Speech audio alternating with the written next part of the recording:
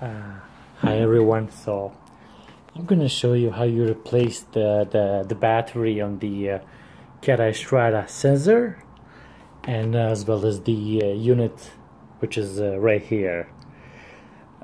So there's a battery right here, there's a battery right here. Before I go any further, keep in mind that I have a brand new batteries in there. However, I forgot to do this on camera so I'm gonna show you how it's how it's done yeah.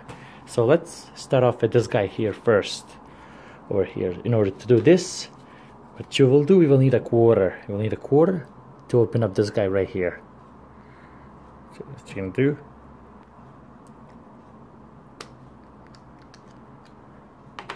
You're gonna open up this this right here. It's the um, the cap and then here's the battery now what I would do now, I would suggest you to have a needle so you can uh, pop uh, this thing out. There you go. Beautiful. Okay, keep in mind this is the the the brand new battery.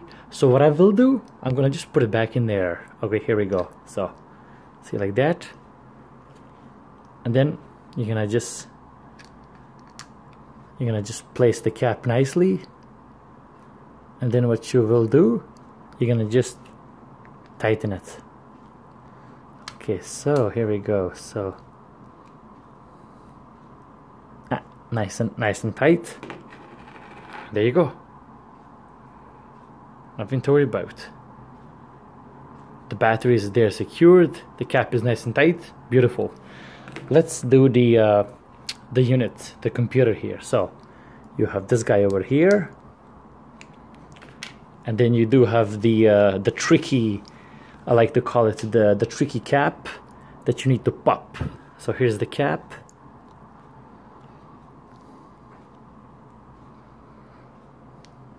There you go. Pops just like that. Then uh, this thing here too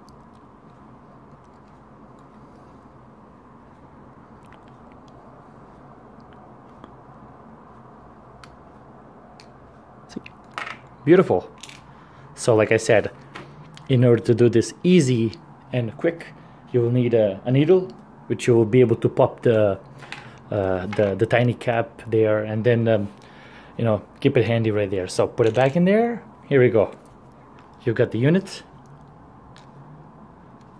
You're gonna place it nice and flat. Here, here you go. That's the proof that the battery is uh, healthy nice and crisp I had it replaced uh, just last year.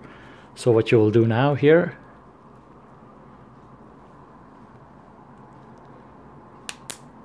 There you go. Nice nice and flat nice and flat. Yeah the way. There you go. You're gonna put the cap back on. Beautiful. Then you have the, the battery there. There you go.